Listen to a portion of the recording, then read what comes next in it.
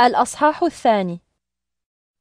فإن كان من عزاء في المسيح ومن هناء في المحبة ومن مشاركة في الروح ومن حنان ورأفة فتمموا فرحي بأن تكونوا على رأي واحد ومحبة واحدة وقلب واحد وفكر واحد منزهين عن التحزب والتباهي متواضعين في تفضيل الآخرين على أنفسكم ناظرين لا إلى منفعتكم بل إلى منفعة غيركم.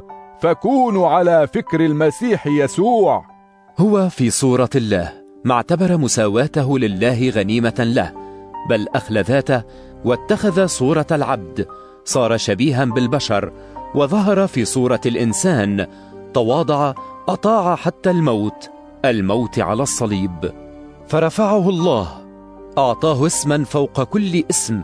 لتنحني لاسم يسوع كل ركبة في السماء وفي الأرض وتحت الأرض ويشهد كل لسان أن يسوع المسيح هو الرب. تمجيدا لله الآب. فكما أطعتم كل حين أيها الأحباء أطيعوني الآن في غيابي أكثر مما أطعتموني في حضوري واعملوا لخلاصكم بخوف ورعدة لأن الله يعمل فيكم ليجعلكم راغبين وقادرين على إرضائه. واعملوا كل شيء من غير تذمر ولا خصام. حتى تكونوا أنقياء لا لوم عليكم وأبناء الله بلا عيب في جيل ضال فاسد تضيئون فيه كالكواكب في الكون متمسكين بكلمة الحياة.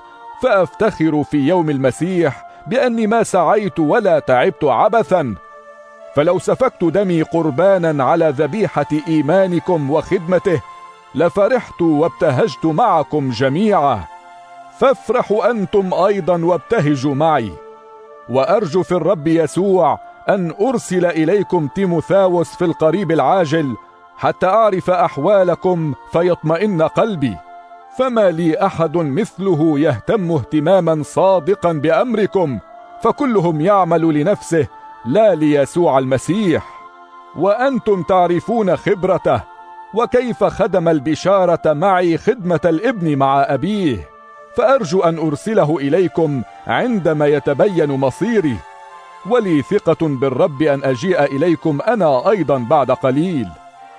ورأيت من الضروري أن أرسل إليكم أبافروديتوس أخي ومعاوني ورفيقي في الجهاد هذا الذي أرسلتموه إلي ليقوم بحاجتي فهو مشتاق إليكم جميعا ومتضايق لأنكم سمعتم بمرضه.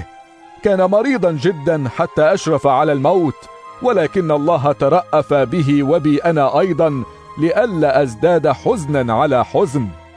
هذا ما جعلني أعجل في إرساله إليكم حتى إذا رأيتموه عاد الفرح إليكم وقل حزني.